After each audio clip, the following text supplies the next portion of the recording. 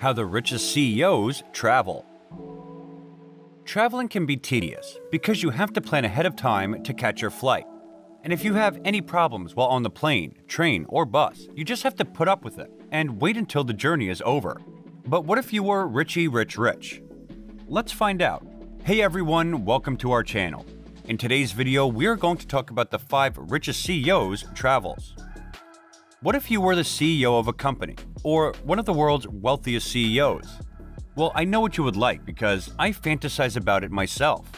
Plus, I did some research on the world's wealthiest CEOs, and the bottom line of their travel itinerary is that they don't catch a plane. The plane catches them. Sure, they might have to deal with some CO2 emissions on their conscience, but it's nothing that money can't fix, with some charity environmental lectures and books. And uh, people who say money can't solve everything, well, I'm looking at you, William Henry Gates III. Number 5. Warren Buffett.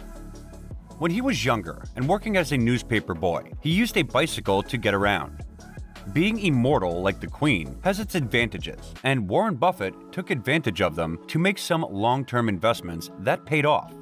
He is now the CEO of Berkshire Hathaway and has a net worth of $98 billion, making him the fifth richest CEO in the world.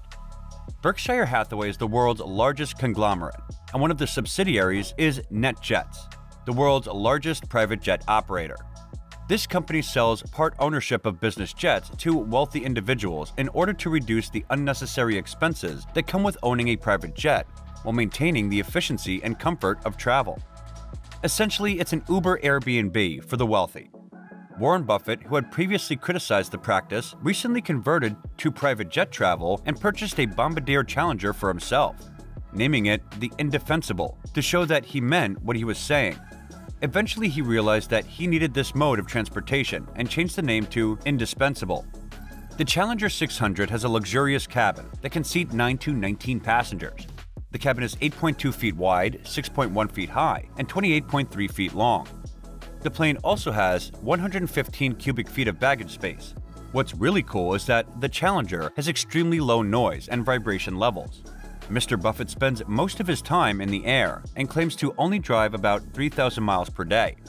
To put that in perspective, the average elderly American male drives over 10,000 miles per year, so it's not surprising that he travels in his 2014 Cadillac XTS, which would cost around $20,000 today. Number 4. Mark Zuckerberg We moved away from the ways of the sages to our youngest and wealthiest CEO, Mark Zuckerberg. You may know him as the founder and CEO of Facebook. He is the father of all social media influencers and has been named one of Times' top 100 most influential people in 2019. He's currently worth $110 billion. And if you think he doesn't spend much because he wears the same gray t shirt almost all the time, think again. Those t-shirts are custom made by Bruno Cucinelli and cost around $400 each, and the same goes for his shoes. Mr. Zuckerberg does not own a private jet like the rest of our richest CEOs. Instead, Facebook handles his travel expenses on charter services, such as they handle other things like his security. In 2020, the year we were all supposed to stay home, Facebook spent around $25 million on charter services for Zuckerberg on the road. Zuckerberg drives a modest car, such as a Volkswagen GTI and a Honda Fit, which would cost around $60,000 if purchased separately. But if you think that's it, you haven't been paying attention because he also owns a Pagani Huayra, which is worth $3 million, 50 times as much as the other cars combined. Number 3. Bernard Arnault After surpassing Zara's Amancio Ortega in 2018, Bernard Arnault is the richest person in France, Europe, and fashion. He was the richest man in the world on two separate occasions, when he overtook you know who in 2019 and 2020. Mr. Arnault is the CEO of LVMH, a multinational conglomerate that deals with luxury goods such as wines, watches, spirits, perfumes, cosmetics, and more. He is worth $123 billion, making him one of only four billionaires in the world. It's no surprise then that he spent $54 million on a Dassault Falcon 7X business jet with Bernard. It's all about the finer things in life, including his French-made aircraft. The cabin is 6.3 feet tall and spacious, with three different seating zones that can accommodate up to 19 passengers.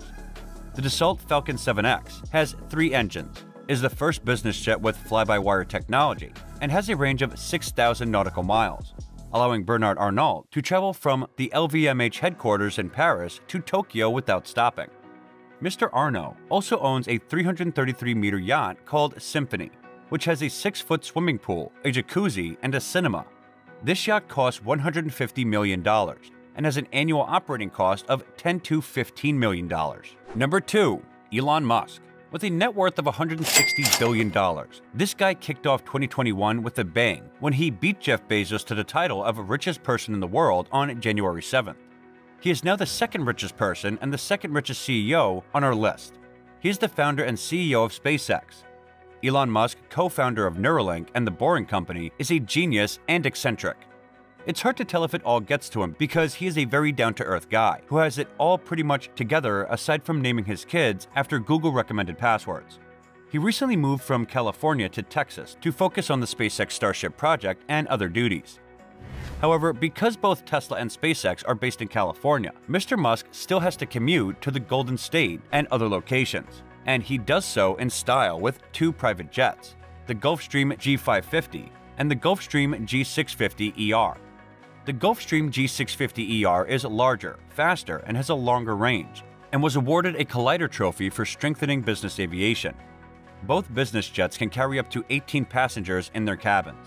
Elon Musk's planes, on the other hand, have been customized to different configurations that suit his taste and comfort, including handcrafted chairs, Wi Fi, and four different areas for dining, working, and relaxing.